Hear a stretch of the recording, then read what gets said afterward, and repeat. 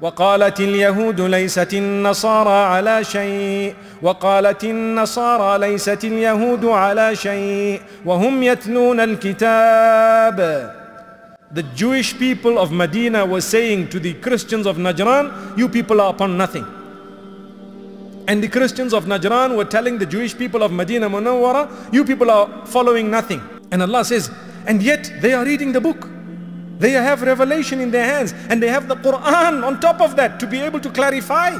My brothers and sisters, sometimes the bickering and the fighting that we have amongst one another, even as Muslimin, makes us forget the crux and the core of the matter. That is the revelation of Allah subhanahu wa ta'ala. We have the truth in front of us and we're busy calling each other names and fighting and so on. What do we learn from this? Do you think Allah revealed this verse for nothing in the Quran? We are sucked into such big dispute within the Muslim ummah that sadly we tend to give opportunity to the real enemy to overtake and to wipe us in such a huge way and each one of them, each one of us is cheering the enemy to destroy the other. Let us learn to love one another for the sake of the fact that we share the shahada. Everything else will come thereafter.